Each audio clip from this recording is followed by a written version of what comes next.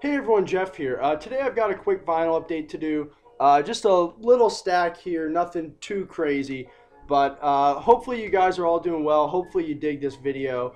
And uh, I'm just going to get started right away. The first thing I want to show is Criminal Record by Rick, Rick Wakeman. Uh, of course, he's known as uh, playing with Yes, Black Sabbath, um, Strawbs.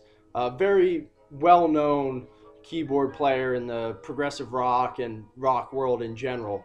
And uh, his solo material is notoriously kind of up and down.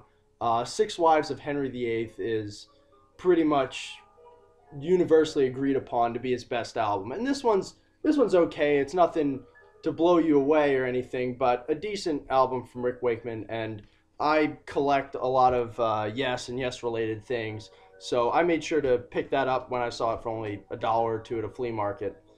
Uh, got, see, I got a lot of fusion in here, so maybe I'll get that out of the way first.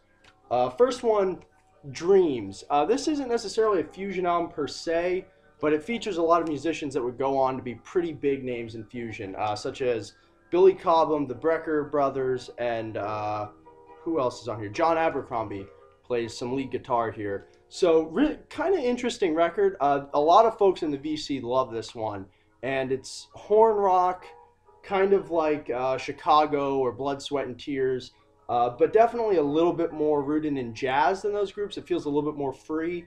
Uh, really decent record. Not certainly not the best thing that most of these guys have played on, but a cool little uh, record for fans of the musicians involved and groups like Chicago or Blood, Sweat, and Tears.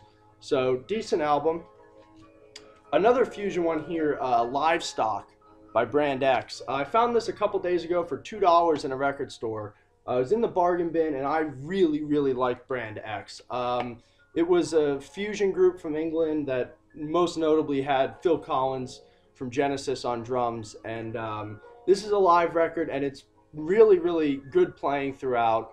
And uh, if you dig Brand X, this will probably be something that you'd like to have in your collection. So, uh, very happy to have that see, another fusion one here is uh, Sonata Erotica by Jean-Luc Ponty. Uh, I am a huge fan of Jean-Luc Ponty. Um, a lot of his solo records uh, rank up as some of my favorite fusion albums ever. Um, Enigmatic Ocean, particularly, being probably my favorite of his. So uh, I keep an eye out for anything Jean-Luc Ponty. And this was um, released on the Inner City label. It's live, and I believe in the rest of the world this had a different title, like Live at Montreux 72 or something like that. But uh, this actually, I wouldn't rank up there as one of his best records. Um, it's it's definitely not as structured as some of his other stuff, and it kind of feels a bit too meandering in my opinion at times. But still cool to get, and it's on a uh, really nice looking Inner City label. So uh, this was originally $9.99, but one of my local record stores was having a 50% off sale, so I only paid five bucks for it. Uh, so definitely a good deal and something cool to add to the Jean-Luc Ponty collection. Uh, let's see, got a couple more fusion here, I think, or at least jazz. Uh, Night Passage by Weather Report. Um, very, very good album. I really, really dig Weather Report, particularly the Black Market album, which I consider to be their masterpiece and one of the best fusion albums ever. But this is this is very good. Um, you know, probably like seven out of ten. I would give it. Uh, good good songs throughout. Really good playing, especially, and uh, it's well produced. So if you're a fan of Weather Report, can't really go wrong with this one. Also have uh, this right here, Keith Jarrett, uh, Arbor Zena believe I'm pronouncing it correctly. Yeah, Ar- Arbor Zena. Uh, this is on the ECM label, and uh, I really dig the minimalistic cover here. But anyway, Jan Garbarek is on saxophone, and Charlie Haden's on bass. So really, really great players throughout here, and it also features um, an orchestra. So it's it's really interesting, kind of like a third stream sounding stuff. Uh, nice mix of jazz and classical, kind of ambient um, it's a little bit hard to explain this record because it's very unique. But uh, if you dig ECM releases generally, uh, this should be up your alley. If you like Keith Jarrett, you'll probably enjoy this. So uh, yeah, Arbor Zena, pretty good record. Let's see, I know I have an, yeah, so here I think will be the last jazz record I have to show. Uh, Pendulum by the Dave Liebman Quintet. Uh, this was released on the Artist's House label, I believe. And uh, it's, a, it's a decent album. It's not my favorite Dave Liebman. Uh, I remember liking Drum Ode and Lookout Farm a bit, uh, quite a bit more than this one. But it's still very, very good. And uh, the playing is great throughout here. So if you're a fan of Dave, Lieb, Dave Liebman and just that style of jazz in general. Pendulum is certainly not a bad record to have in your collection. I paid $3 for it. So, very cool to get this. Now I'm going to move into. Well, I have one metal album to show, so I'll get that out of the way right now. And that is Dream Evil by Dio. Uh, this isn't one of Dio's best records, in my opinion. Uh, Holy Diver will always be his best. Well, you know, he's passed away, unfortunately. But this is this is all right. Uh, it's got some good tunes. It's a little bit too sleek and predictable, in my opinion, but still a decent album. If you're a fan of 80s traditional heavy metal, this should be up your alley. Uh, also, let's see, I've got a couple like more ambient style releases, so I'll show those right now. Uh, first one will be Kites by Jade Warrior.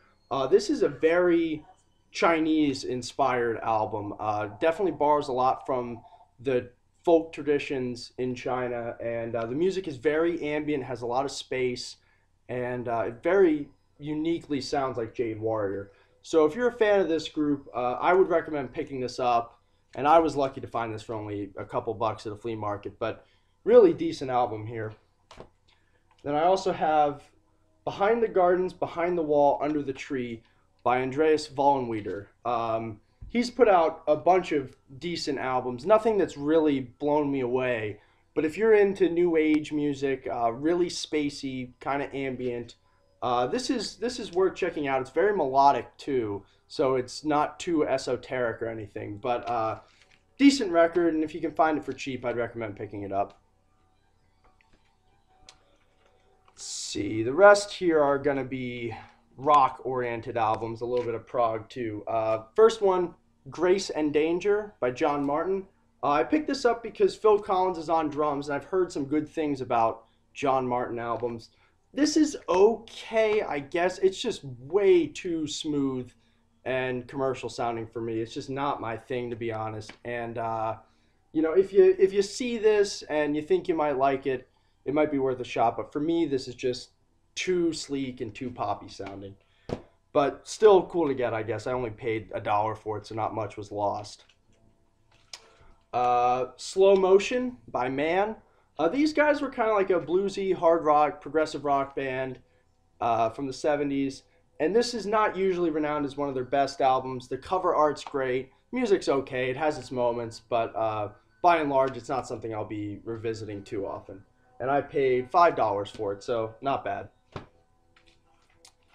Also got Pretzel Logic by Steely Dan. Steely Dan's one of those groups that a lot of folks love, but I just can't get into. Again, kind of the same criticism I have with the John Martyn record, where it just feels way too slick and calculated for my taste. Uh, just Steely Dan for me, at least the records that I've heard, it doesn't feel like there's much bite to it. It just feels very safe and uh, you know something that you would show your parents and they'd be like, "Oh, that's that's nice." Uh, just really not up my alley. It's it's okay, very good musicianship and I can't knock that at all, but just not totally for me. So, Pretzel Logic. Now, these next two records here are the highlight of this video, I think. Uh, the first one is I Advance Masked by Andy Summers and Robert Fripp. Andy Summers, of course, being from The Police, and Robert Fripp being from King Crimson and 500 other things. But um, this is a very, very cool record. It's uh, it's almost hard to describe. It's it's uh, if you're a fan of 80s King Crimson, you might like this. It's instrumental, um, like kind of. Uh, there's some there's synthesizer work. It's very spacey. Um, it's pretty cool stuff, honestly. I wish it had a little bit more percussion, but that would really be the only knock I could give this. It's a cool record, and uh, if you're a fan of these two guitarists, this is definitely worth picking up. And I've been searching for this for months and I happened to find it in a bargain bin at a record store a couple days ago for two dollars. So uh, really, really cool.